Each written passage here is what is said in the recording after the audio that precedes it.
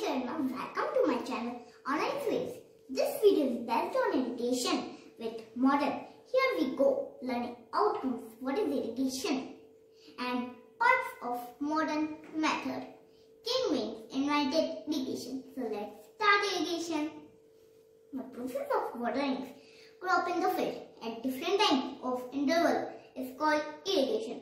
There are two methods of irrigation, traditional method and modern method. Traditional method. Water is available on wells and canals distributed in field by cattle or human labor. Example moat, chain pump and deck. Modern method. This method of irrigation are more efficient than the traditional method. Water is equally distributed to all parts of modern method, sprinkler system and drip irrigation.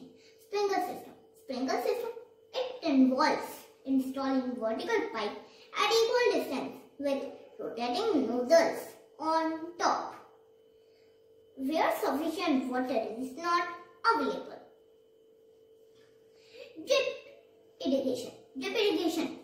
This involves providing water drop by drop near the roots of plants. It involves no wastage of water. Thank you guys. Model of irrigation in this we can see well, bucket, motor, sprinkle drip system.